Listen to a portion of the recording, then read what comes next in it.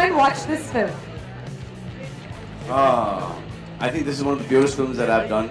I think it's a great movie. It's a story superbly written and extremely well told.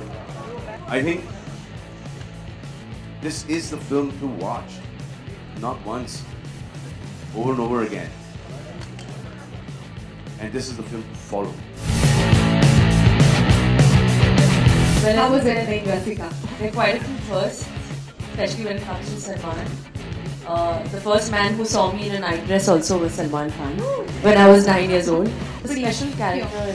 We try to keep it as real and very uh, unlike, I think, a typical Hindi film heroine because, as you know, Kabir is very, very real as a director. I mean, if you try to wear extra jewelry or a little more accessories, it's like you're too overdressed for the scene.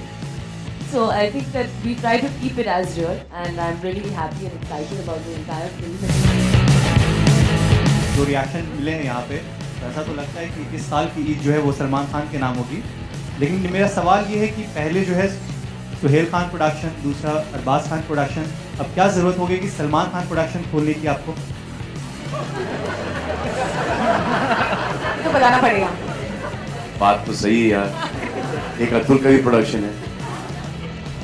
Sohail Khan के बच्चे सोहेल खान के?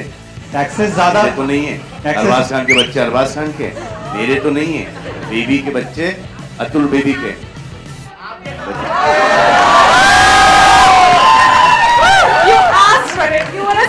Production production start किया है फ़िल्मों से। इसको चलने दो। उसके बाद वहाँ पर लाइन लगा देंगे।